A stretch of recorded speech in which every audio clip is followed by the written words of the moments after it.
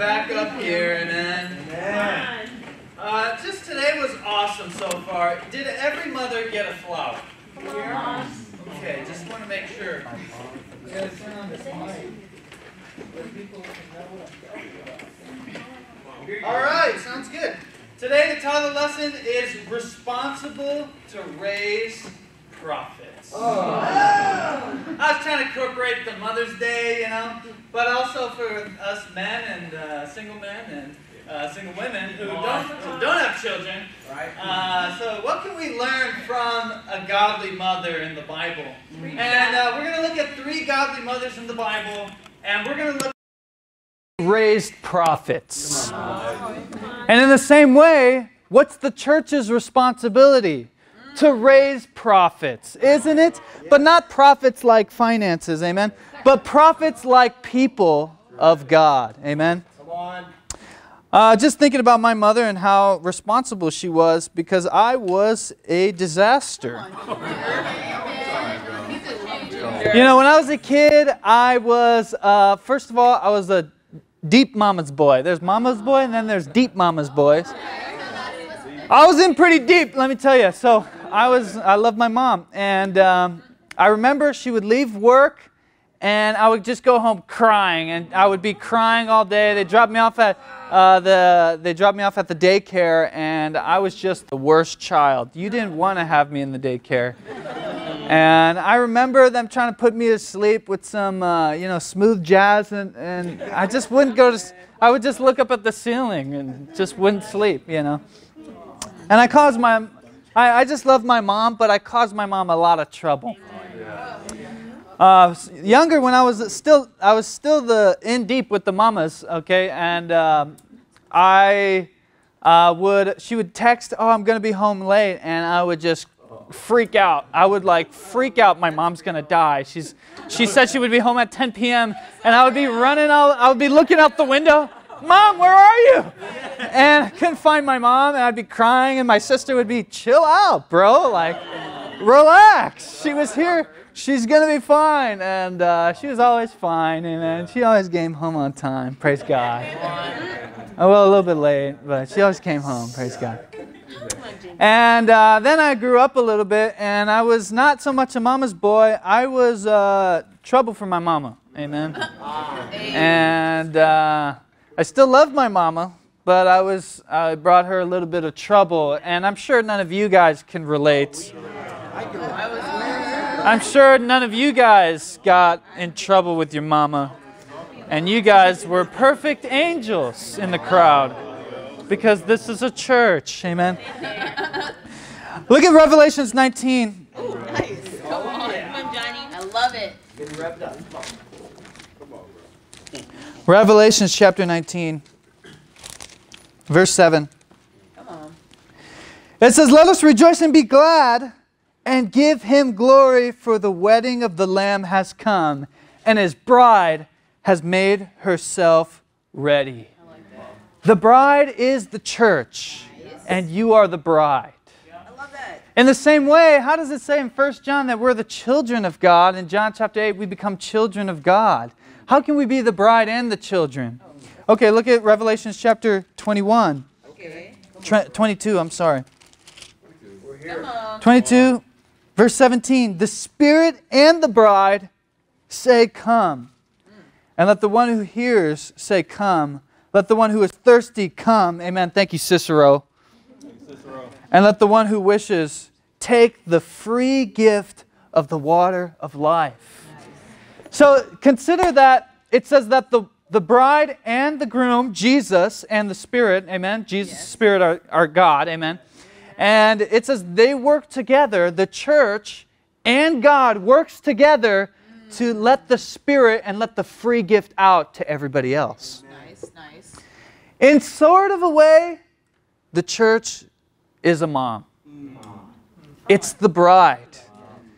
And in sort of a way, we raise up each of the members in the church collectively to become great disciples and great prophets for God. And gr- as they are already children of God. Amen. Are, you, are there any children of God in here? And Yes. Come on, and the church's responsibility is to raise prophets. Yes. Now, the church is not responsible necessarily for um, every single member of the community. The church is responsible to save as many as they can with the help of the bride and raise its people into, pro- into being prophets. Now, the church isn't supposed to uh, do your taxes for you. The church is not somewhere you go to party and just have a good time and it's not where you meet your, your cool new best friend so you can learn chess, you know. While you could do all that, you could do all that at the church. The church is the goal of the church is to give the spirit to the people. Is to give people the free gift of eternal life. Does that make sense? The goal of the church is to give eternal life, and it's the goal of the church to raise all its children, all of you, into mighty prophets. And in the same way, a mother raises a child into becoming an awesome man or woman, an awesome adult. And I think about how it's such a responsibility to raise a child. And I think about how it's such a responsibility the church has to its members. And if you're in the church, amen, that you have a responsibility to each other. Mm-hmm. Because you are the bride and the children. And you're the mom and the children. Maybe you're the bride when you're giving and the children when you're taking. And in the church, we need to be both. We need to receive help from other disciples, but we also need to give help to other disciples. You can't just be one and not the other. If you're in the church, you are the bride and the children. Does that make sense, family? And uh, you think about raising prophets, the responsibility of raising prophets, that God doesn't want his children to just be anybody in the world, but he wants them to be spiritual. Nice. He wants them to be faithful, full of love, and trusting in him. And I'm going to get a little cheesy with you guys because it's Mother's Day. But I have three I have three short points for you guys. Point number 1 is humility. Oh, that's straight to the point. Look at Mary's humility. Mark chapter 6. And I pray that we imitate all these qualities of a godly mother. Come on, Johnny. We love Mary. Mark chapter 6. Come on. In verse 1, Jesus left there and went by his hometown, accompanied by his disciples. When the Sabbath came, he began to teach those in the synagogue, and many who heard him were amazed. Where did this man get these things? They said. What's this wisdom that's been given to him? What are these remarkable miracles he is performing? Isn't this the carpenter? Isn't this Mary's son? And the brother of Jos- James, Joseph, Judas, and Simon? Aren't his sisters here with us? And they took offense at him. What the heck? Why would they take offense at somebody doing miracles? That doesn't make sense. Well, there's something about you changing someone's diaper and then them doing something maybe a little bit uh, convicting to you. Right. And uh, you think about the humility a parent needs to have. Ooh. Oh my gosh, you have to change that diaper. Praise God that we don't have kids yet, okay?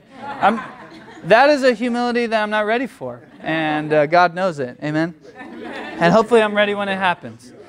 And, um, you know, I just think about how God teaches you so much through the purity of a child.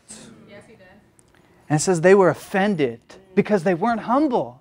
You know, whenever you're offended at something, it's because you're not humble. Verse 4 Jesus said to them, A prophet is not without honor except in his own hometown, among his relatives, and in his own home. He could do no miracles there except for lay his hands on a few sick people and heal them. You know, Jesus said, It's so sad that I can't do miracles in my own hometown with my own family. And in the same way, as a church and as a parent, you have to be able to be humble with your child. Amen. And you have to be able to learn from their purity and their love and their simplicity. Amen. That's awesome, And in the same way, the church has to learn from our children. Amen. Come on. There's so much we can learn from the younger generation. Yes. And there's so much we can learn from the baby Christians. I think about Fabian. Fabian confesses the most amazing, pure hearted thoughts to me. And I thought, and, and he confessed to me the other day, and I thought, wow, I am the worst. because for some reason down the line, I started thinking that this wasn't that bad. Can you relate? And maybe maybe that there's people in here younger than you spiritually and physically that you have the honor to live, learn from. Yeah. This is a this is a great blessing of Mary that Mary was one of the she was one of the few people in the family that became humble and learned from Jesus. Learn from Mary's humility that Mary can learn from somebody younger. This is a blessing, but this is also a challenge. Could you imagine a church that doesn't raise up young prophets because they don't because the older generation doesn't listen to them? Even when it's from the Bible. Now, that is a warning to all of us. That if we don't allow our young disciples, our baby Christians to raise up, the Diegos to raise up, by listening when he has a scripture, we will not have another generation of Christians. Because he'll view us as hypocrites and that'll stir him from the faith. Wow. What about you? Have you considered that there's things you need to learn from people who are babies in the faith? The simplicity of their faith, as Matthew 18 says, we need to be like children to enter the kingdom. Don't get too complicated, amen? When somebody has a scripture for you, can you take it in humility? Can we raise up our young prophets in the church? That's our job. Are you guys with me? Amen. Point number two is unconditional. I think about a, a mother's unconditional love. What a mother's willing to do for their child. There's a woman in Exodus named Yohebet. Look at Exodus chapter 1. Come on. If you don't know who Yohebet is, it's, it's Moses' mother. Did she raise a prophet or what? What did she do to raise Moses? Look at Exodus 1. We're going to start and look at some other mighty mothers. In verse 15, uh, the, the king of Egypt wants to kill all the infants under two years old, the male infants, because he's afraid of his kingdom being taken from him. Yeah. Yeah. Verse 15 The king of Egypt said to the Hebrew midwives, whose name were Shiphrah and Puah, When you are helping the Hebrew women during childbirth on delivery stool, if you see that the baby is a boy, kill him. But if it is a girl, let her live. The midwives, however, feared God and did not do the thing the king of Egypt had told them to do. They let the boys live. Then the king of Egypt summoned the midwives and asked them, Why have you done this? Why have you let the boys live? The midwives answered Pharaoh, Hebrew women are not like Egyptian women. They're vigorous and give birth before the midwives arrive. So these, these women were shrewd. They knew, okay, they knew how to argue. Good job. So the God, so God was kind to the midwives, and the people increased because, and became even more numerous. And because the midwives feared God, He gave them families of their own. I think a key to unconditional love is fearing God. Because the easiest time to put a condition on your love is when you're thinking about men or you're in sight of other men and you're out in sight of other women and people can see you.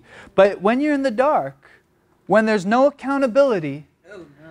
when it's just you and the right thing you should do, are you going to be unconditionally loving? And uh, only God really knows your limits. We think we have, we think we know our limits, and we're like, oh no, that's maxing me out. I can't go beyond that. Do you know only God really knows your limits? And so for us to be unconditional, we got to pray, God, please, what is my limit? God, please help me go past, help me reach the limit you think I should go to. That, Instead of lowering our standards because what? Not fearing God, but fearing obstacles, fearing these big problems we perceive, and fearing man. Look at Yohebet, the mother of Moses. In verse 1, it says, Now a man of the tribe of Levi married a Levite woman. She became pregnant and gave birth to a son. Exodus 6.20 says her name. When she saw that he was a fine child, and I like to think that my mom thought the same thing of me, she hid him for three months. But when she could hide him no longer, she got a papyrus basket for him and coated it with tar and pitch. She placed it, the child in it and put it among the reeds along the bank of the Nile. His sister stood at a distance to see what would happen. And I like to think that the mom sent the sister because she wanted to protect the child. You see, she's hiding the child for three months at the risk of her own life, protecting this child. And she finally can't hide him anymore. Look at the lengths she's willing to go. She says, "You know what? I'm she's creative. I'm going to coat this. I'm going to make a little boat for him." Yeah. And and then she sends the daughter and and look at this. Moses ends up safe in the temple palace. It says in verse 5, Pharaoh uh, verse 5 Pharaoh's daughters went down to the Nile to bathe her, and her attendants were walking along the riverbank. She saw the basket among the reeds, sent her female slave to get it. And Moses, in time, becomes a prophet that who's meant to be. But could you see the sacrifice and the risk that it took to save Moses' life and to save all these children? What sacrifices and risk are we willing to take to protect the family in this group? And there's risk, there's problems, and there's dangers that you can only find out about someone if you get one on one, if you figure out what's in their hearts. I challenge you guys, we have to be a family of unconditional love. Drop everything for each other. Drop everything to serve each other. Drop everything to protect each other. Drop everything to find out what sin is hurting this person. Unconditional love. Have no conditions. Point number three is be a giver. Nice. Mothers are very giving. Yeah. I can think about my mom, how she worked two jobs at some points. And I know many of the, the, the, the mothers and, and, uh, and uh, in this room have done the same thing. Worked two jobs, countless hours. And I just commend that. That's serving God is serving your children. Amen. I thank you, God. Thank you, all the spiritual mothers in the room. I think of Christine and I, Christine's over here. Sorry. I think of I think of Kathy, Ciel, Val. We need spiritual mothers in the family of God. Without a spiritual mother, the church will feel a lot less warm and compassionate. And it'll be a lot less sacrificial. And you know what? I think about all the years of being in the church for seven years. I've been in church for seven years. I think of the single moms have always, almost always, stood out as one of the greatest givers. Because they're always one of the most grateful. I know this single mother in Milwaukee, when I was in the church there, would give more than everybody else beyond her ability, and the church leader had to say, Stop giving! You're giving too much. But she was so grateful, wanted every single mom to have what she had. She wanted the church to spread throughout the whole city, throughout the whole country. And if, if that was our heart, this church would be a much more giving church. If we could all imitate the givers in our life and the givers in the Bible. Look at 1 Samuel. I want to look at one of the biggest givers in the whole Bible. 1 Samuel chapter 1.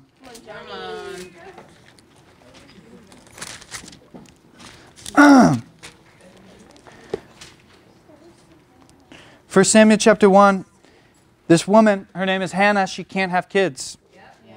She goes to pray about it. Verse 9, as one Christian should, right? Pray about it. When they had finished eating and drinking, Shiloh, Hannah stood up. Now Eli the priest was sitting on the chair by the doorpost of the Lord's house. In her deep anguish, Hannah prayed to the Lord, weeping bitterly. She made a vow saying, The Lord Almighty, if you will only look on your servant's misery and remember me, and not forget your servant, but give her a son, then I will give him to the Lord for all the days of his life. No razor will ever be used on his head. Wow, this is amazing. She wants a son. It's her. She's weeping bitterly. I mean, she's just out. She goes to the temple to pray about this, and it's her only desire. And you know what she wants to do with her only desire? She wants to give it back to God. And she wants to give her son to God. She literally wants to raise a prophet. And You know, we have so many gifts in this life and are given so many blessings, and unfortunately, sometimes it stops with us. Instead of giving it to God or passing it along and blessing others with what God has blessed you, if you become stingy, became, become too idolatrous of the thing you want, which for her, she could have idolized her son. Yeah. But she didn't. Yeah. She wanted to give her son to God. And this is a win win because now she's going to have an awesome son and God's going to have an awesome prophet. Yes. Amen. That's awesome. And God's going to have an awesome prophet. But if she didn't have this heart, would she have been given a son? The answer is no. Look at verse 21. Come on, bro. Actually, uh, we'll start in verse 24. She ends up having the son, and she fulfills her vow to Jesus, to God. It says, as after he weaned, she took the boy with her, young as he was, only a few years with him, along with a three year old bull, an ephah of flour, and a skin of wine, and brought him to the house of the Lord in Shiloh. When the bull had been sacrificed, they brought the boy to Eli, and she said to him, Pardon me, my Lord, as surely as you live, I am the woman who stood here beside you praying to the Lord. I prayed for this child, and the Lord has granted me what I asked of him. So now I give him to the Lord. For his whole life, he will be given over to the Lord. And he- he worshiped the Lord there. She promised to give her child to God. She kept her vow Yeah. and look and the whole and two chapters two books of the bible are named after samuel and samuel's not even really in the second one Yeah. do you see how god works do you see how great it is to be blessed and to give up and to and to give and to give past what you're able to and to give uh, unknowing what how, when you're going to stop and to give the thing you love most but to give that to God is the greater blessing. And she was rewarded even to this day because we're reading and we're remembering her gift to God. Amen. Does a gift stop with you? Does God's gift stop with you? You know, as a family, I thank you, Cicero, for talking about special missions. We're short, and it's our family that's in foreign countries. I was baptized seven years ago here. A few years before, there was a guy that's baptized here. His name is Chi. He oh, leads churches in China. He was arrested for his faith. Wow. And he was baptized here in Chicago. There's, there was a guy baptized shortly after me. His name is Isaiah. And he's about, this year, he's go, we're sending him financially. He's moving with his girlfriend, not even married yet. And they're planting a church in Amman, Jordan. And I'm Middle Eastern, and that moves me personally. Yeah. Yeah. I love God's kingdom. We're in God's family. I'm willing to sacrifice whatever I have to sacrifice mm-hmm. for my brothers and sisters around the world, but also to save the world. Yeah. Because that's the heart of Hannah, Yeah. and that's the heart of a giver. Come on. Yeah. Me and Deb, we personally pledged, even though we already hit our special missions goal, we personally pledged another thousand, looking at that we have to raise another 26,000, it looks like. Mm. Yeah. But we personally are going to help that goal because we pledged another thousand, and we may pledge more. And we're going to run fundraisers every day this next week so that we can hit our goal. And, and we, we invite all of you guys to come down, Yeah.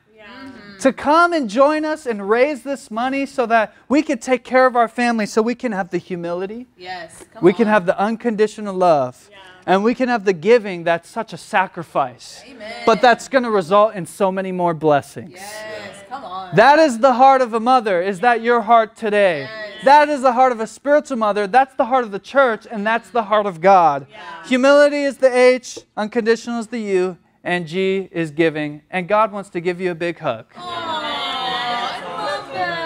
Just like how your mother wants to give you a big hug, and the church wants to wrap its arms around the world and raise up prophets. We love you guys. I hope you guys are with us this next two weeks. To God be the glory.